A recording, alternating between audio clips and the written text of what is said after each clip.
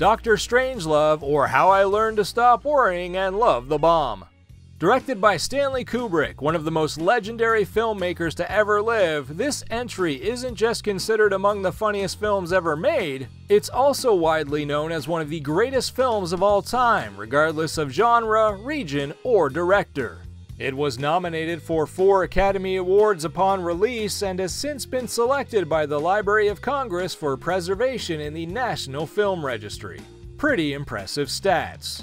For those unaware, its plot follows a United States Air Force general in a somewhat deranged mental state as he preemptively orders a nuclear attack on the Soviet Union. And while you may not expect a plot of that kind to facilitate the most laugh out loud style of comedy, rest assured that Doctor Strangelove deserves this spot on the list.